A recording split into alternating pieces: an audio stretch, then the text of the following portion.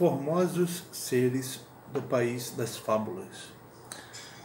Os tempos da Ilustração e do classicismo alemão se deleitaram com a beleza das imagens dos deuses gregos e com a inesgotável riqueza de seus mitos.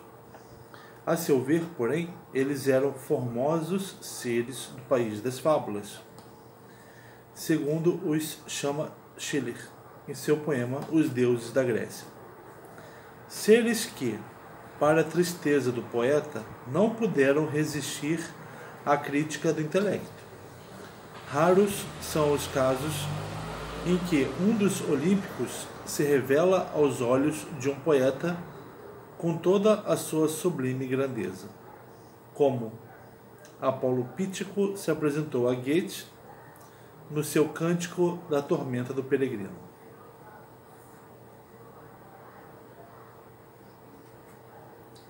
Então, a passagem então do Cântico da Tormenta do Peregrino do Goethe,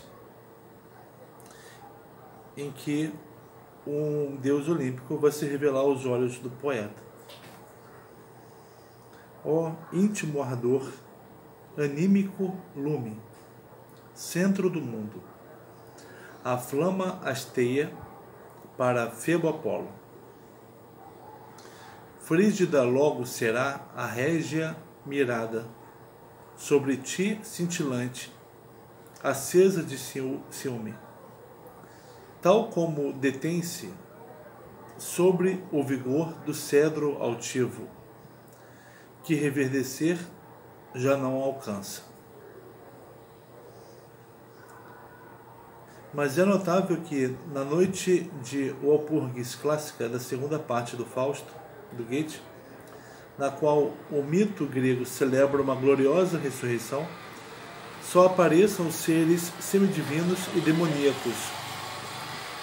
A enorme distância que os separa do mundo divino propriamente dito salta à vista quando se imagina a deusa Afrodite cruzando o mar em vez de Galateia.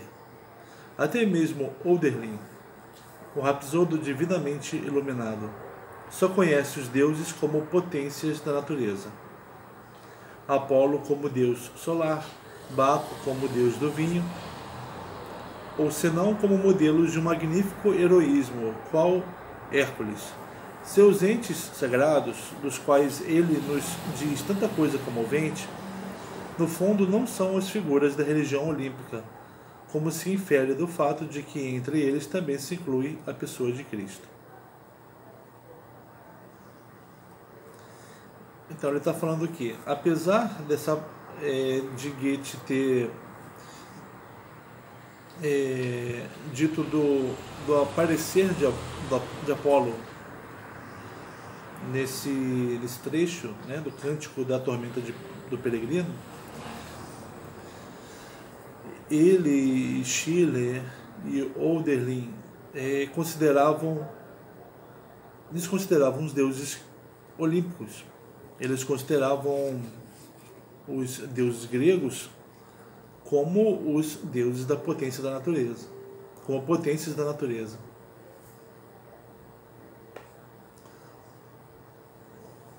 Isso aí é uma, uma concepção religiosa antes do Homero. Então quer dizer que até o, esses escritores alemão, alemães é, perdem os deuses gregos de vista. Perdem a experiência dos deuses gregos.